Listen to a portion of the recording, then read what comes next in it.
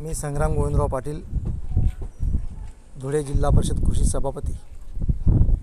गेल्या आठ दिवसापासून या धुळे जिल्ह्यामध्ये सततचा पाऊस पडत आहे आणि ह्या संदर्भात मी कृषी विभागाशी संपर्क साधला.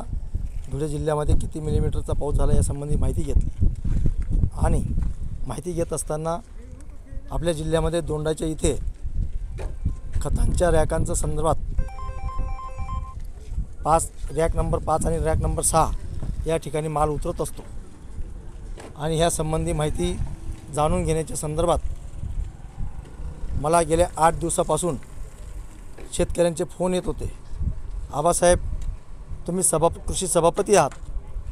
आम्हाला जो युरियाचा माल येत आहे या युरियामध्ये पाणी लागलेला युरिया आहे गोडे निघत आहेत वितळणारा युरिया आहे काळा पडलेला युरिया आहे.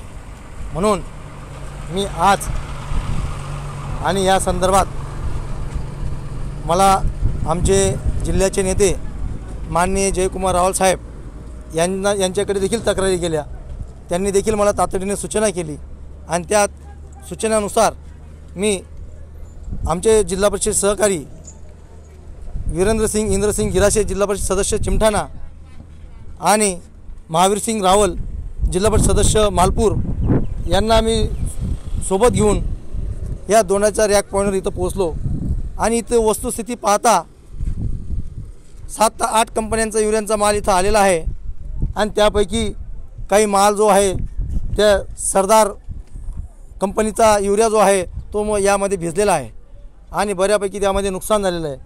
आणि हा हे जे नुकसान झालेला जो माल आहे हा शेतकऱ्यांपर्यंत पोचू नये कारण शेतकऱ्यांनी माझ्याकडे तक्रारी केलेल्या आहेत. आणि त्यांच्या तक्रारीनुसार मी आज आणि राहुल साहेबांच्या आदेशानुसार मी इथं पोचलेलो आणि मला वस्तुस्थिती बघायला मिळाली. या संदर्भात देखील मी जिल्हाधिकारी महोदयांशी वेळोवेळी चर्चा केलेली आहे. जिल्हा कृ कृषी अधीक्षक साहेबांशी चर्चा केली आहे. आमचे धुळे जिल्हा परिषदचे कृषी अधिकारी त्यांच्याशी चर्चा केलेली आहे. परंतु इथली जी दोंडाच्या रॅक पॉईंटची जी परिस्थिती आहे या सर्व प्रशासनाने माझ्यापासून ही बाब लपवलेली आहे. ही एवढी गंभीर बाब त्यांनी माझं माझ्यापासून लपवायला नको पाहिजे होतं.